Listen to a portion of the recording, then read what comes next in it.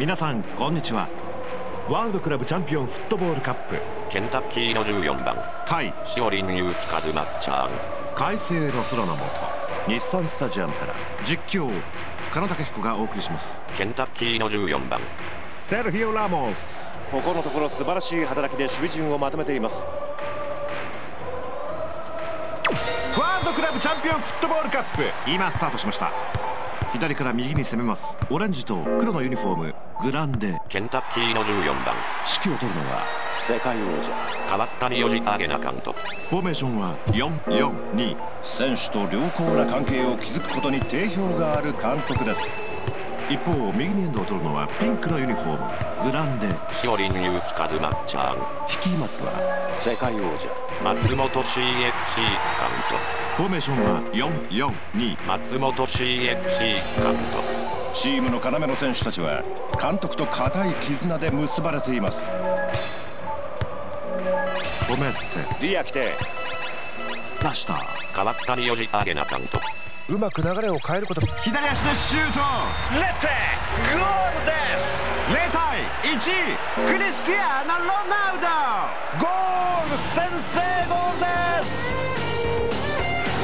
素晴らしいシュートでした。前半26分キックオフです。ベンダー縦に送ってビエラさあクリスティアーノ・ロナウド。さらにゴールを積み重ねることができるか。セルヒオ・ラモスディフェンス面で目覚ましい成長を遂げています。さあケンタッキーの14番シェフチェンコ。シェフチェンコ。止まらない。ボールを運びますディアクテレッドカードピッチを去ります。さあプレー再開です。アンダーノビッチ川谷よじあげな監督。選手を呼んでいます。キーパーボールを出します。今ホイッスルが鳴りました。0対1前半45分が終了です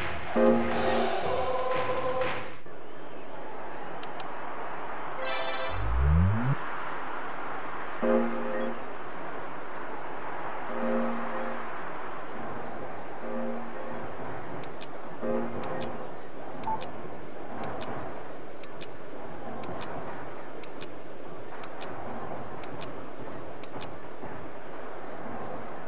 あ後半戦が始まりました。フィルジル・ファンダイク。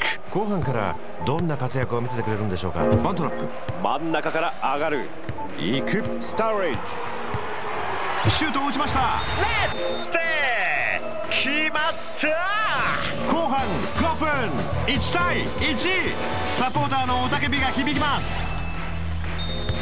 観客たちも拳を突き上げます。後半7分さあキックオフです。果敢にボールを受けて。ニースケンスからクリスティアーノ・ロナウド。ビエラ。うまくボールをつなげることができるか。抑えて。ベンダー。感じてませんでしたトラップ。左から松本 CFC 監督。攻撃の動きに変化。ここで打ってきた！ゴー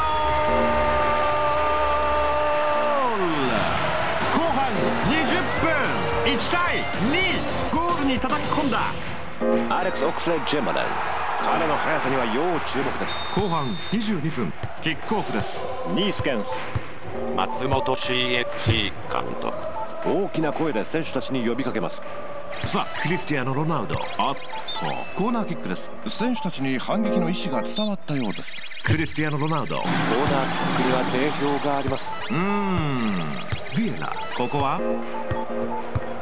アタック。ワントラップ。抑えて。回していく。止めて。狙ってきた。同点ゴー